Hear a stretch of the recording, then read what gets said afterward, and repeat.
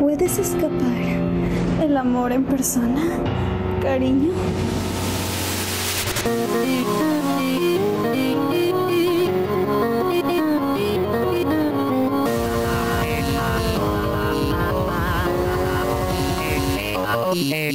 Ah.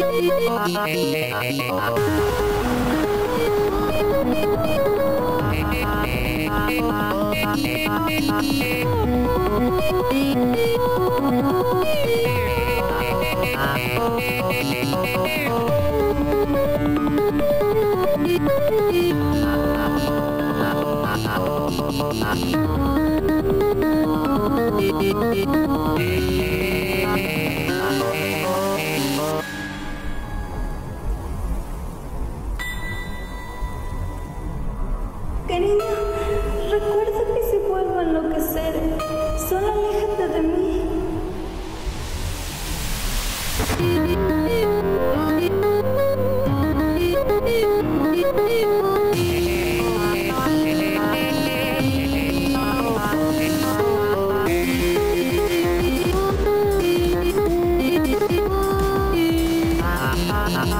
ah, ah, ah, ah, ah,